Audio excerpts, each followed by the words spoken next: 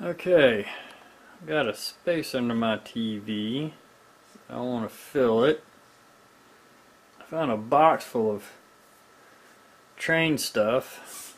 So,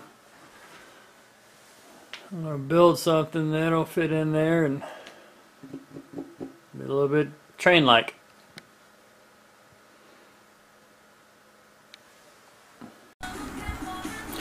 Okay, this is going to be the side layout. All this here in this area, this is where the uh, the floral, the floor, yeah, the terrain will lay out. This is a wall.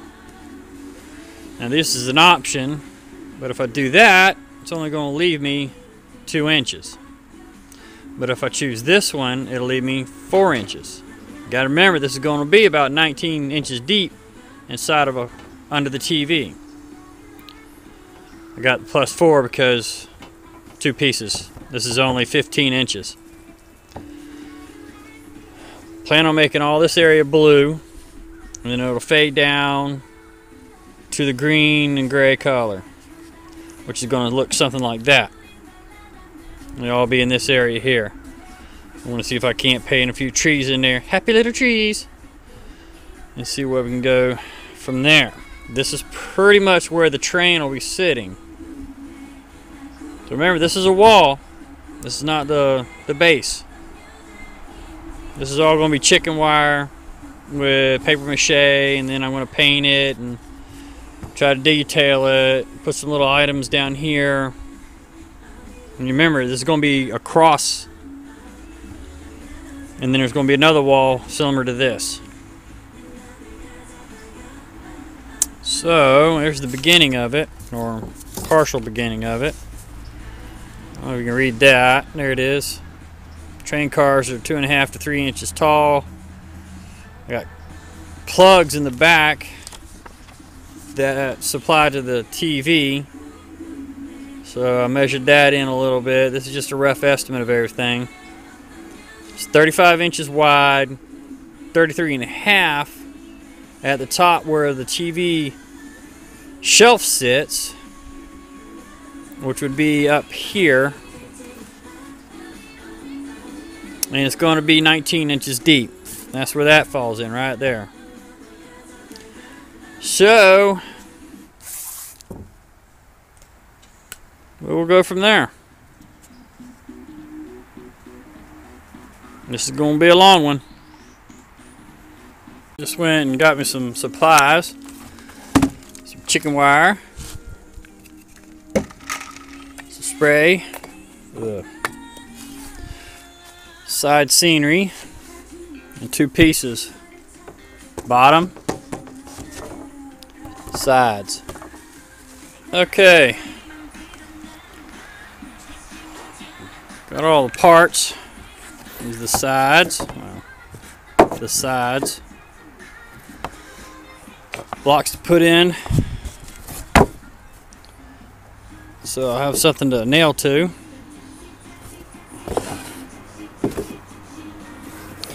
It's the back.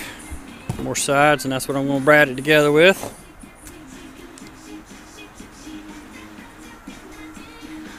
So let's do this. Okay, that's pretty much where it's going to look like. As you can see, now the terrain's going to rise up, come up to there. Got it written down, you can't see a half inch, four inch, seven inch. The train will sit right here. The back train will go up to the top, well, just below the top. And this will be the very beginning of the slope. And I have little things everywhere I'm hoping it'll come out right. Alright, got chicken wire stapled down. See the form of it. Oh, kind of tricks the sun's playing out here. Overcast. See, I've got traced out. That's one side. I'll paint all that blue at the top, then fade it down. And I'll do the other side. Get those painted, let them dry, and then I'll uh, do the paper mache. And then we'll see what happens. As you can see, it fits pretty good. The uh, sidewall's been painted a little. Still want to add some extra trees to it and other such. But I gotta wait till I finish the terrain and then I'll be able to add to that. Okay, there it is. Going to get started. There we go. You can see it's pretty loose. So I gotta redo it. Get all that off and put it back down.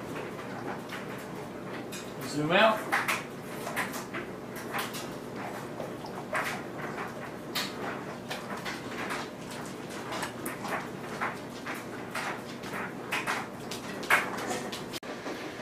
Alright, starting to put the put the paper bags on it. Got the other layers down. it's good and wet. So, it'll come out fine this time. Okay, you see I've uh, started on the very last, which is the white. Kind of cheating a little bit, making big pieces.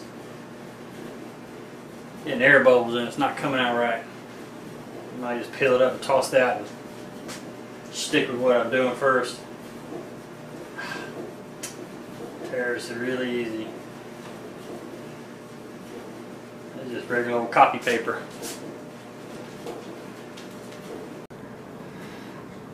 Alright, there it is. There's the white paper.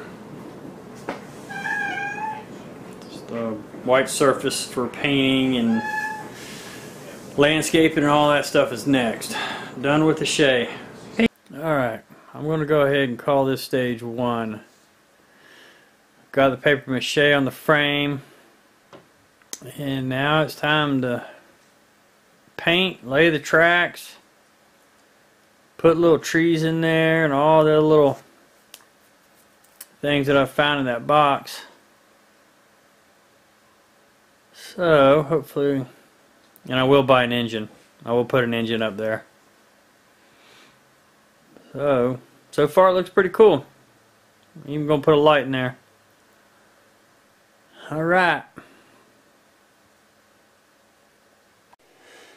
Okay, this is the box. Let me zoom back out. There we go. Alright, this is the box that I've got found a bunch of stuff in. Glare really bad. So we fix that. There we go. No, not much better. There we go. See, it's got a bunch of little train stuff in it. But, let's see what else it has. Yeah, these are all parts for other little pieces of train engines and cars and such. But there's track stuff. Can't really tell. Balsa wood for making certain things and stuff. And there's a book of history. But there's a bunch of little things in here. Let's see a point looking out, see. Tell that is. And two more little smaller boxes that's got paint.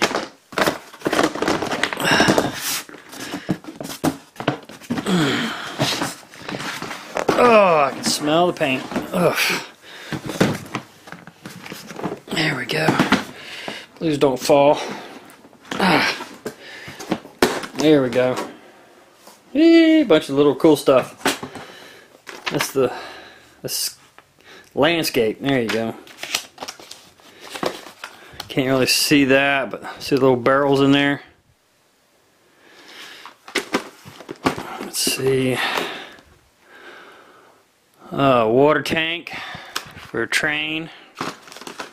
Got to put all those things together. More barrels. Ah, Little hand car. Track. There's a caboose. Diecast even. This thing's pretty heavy. All sorts of little things are in here. But that's the stuff and whatever doesn't get used is heading for eBay.